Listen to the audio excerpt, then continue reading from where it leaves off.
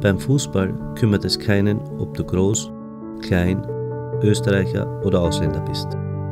Das Einzige, was wirklich zählt, ist, ob du deine volle Leistung gebracht hast und gut mit deinen Teamkollegen zusammengespielt hast. Ob du offen warst für neue Ideen deines Trainers und auch mal in brenzlichen Situationen in der Verteidigung mitgeholfen hast. Und genauso sehe ich auch Integrationspolitik, bei der es darum geht, seinen Mitmenschen zu helfen.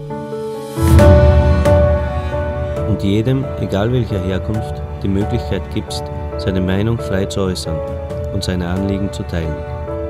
Es geht darum, Brücken der Verständnis zu bauen, anstatt Mauern der Ignoranz zu ziehen. Dafür stehe ich. Ein harmonisches Zusammenleben kann nur dann gesichert werden, wenn wir einander mit Respekt und Akzeptanz entgegenkommen. Vor allem in einem so kulturreichen Land wie Österreich. Jedes Kind, das in Wien aufwächst, soll die Chance auf Bildung und Sicherheit bekommen.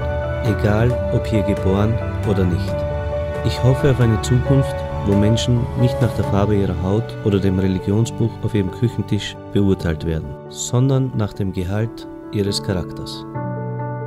Ich musste schon einmal als Nationalteamspieler für Österreich Verantwortung übernehmen und werde das, wenn es sein muss, noch einmal tun. Mein Name ist Volkan Kahraman und ich kandidiere bei den diesjährigen Nationalratswahlen für die ÖVP.